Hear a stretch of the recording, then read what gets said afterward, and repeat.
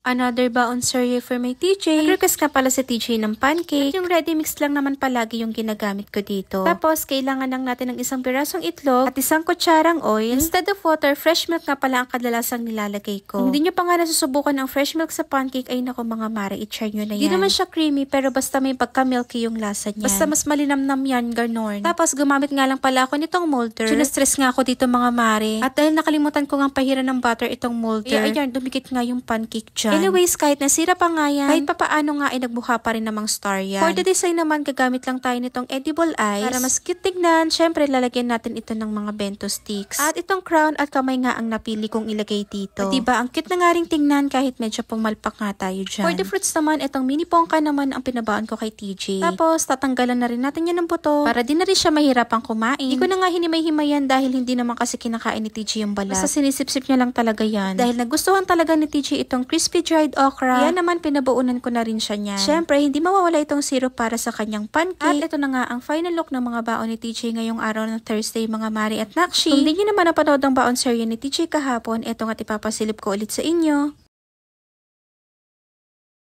Another baon serye for my TJ.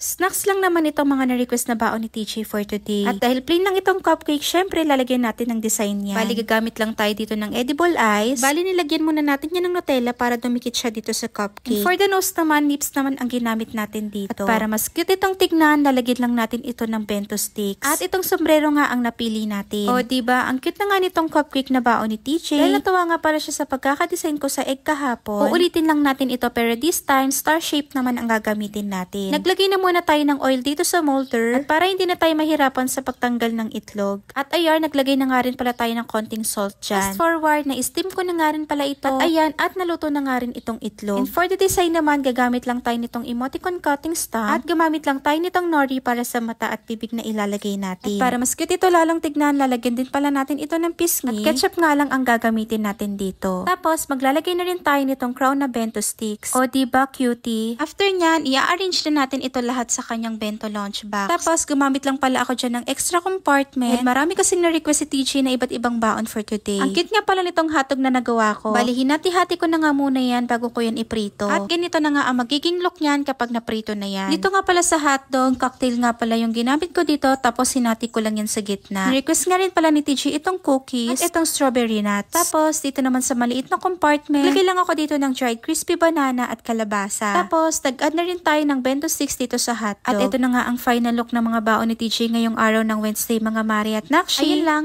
Bye!